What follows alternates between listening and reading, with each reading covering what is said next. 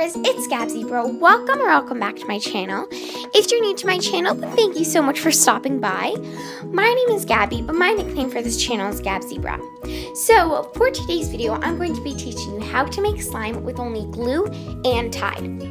I wouldn't recommend watching this video or following these steps if this is your first time making slime, just because I did film this video a faster version. So without further ado, let's hop into the video and slime it up.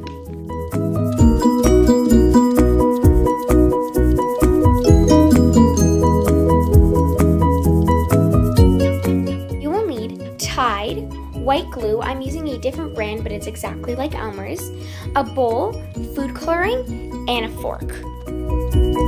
So you're first going to start by taking your glue and you want to make sure that it's PVA and it says school glue and you just want to pour that into your bowl and depending on how much and how big or how small you want your slime to be, just pour how much glue you want.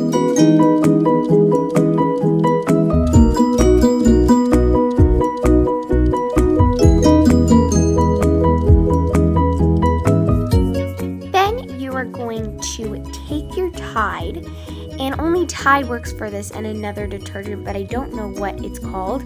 And you're just gonna pour that into your glue, and you wanna start by adding a little bit of Tide and mixing it, a little bit of Tide and mixing it, and just repeating it until it's in one big blob. And I'm just mixing it really, really well, and then you wanna add more Tide. When you follow those steps and then your slime is in one big blob, then you're just going to knead it with your hands and it's going to turn into slime. I really hope you guys enjoyed this tutorial on how to make slime with Tide. Like I said, this video was a faster version. And if this slime did work for you, then just comment that down below. And you guys will see me next time.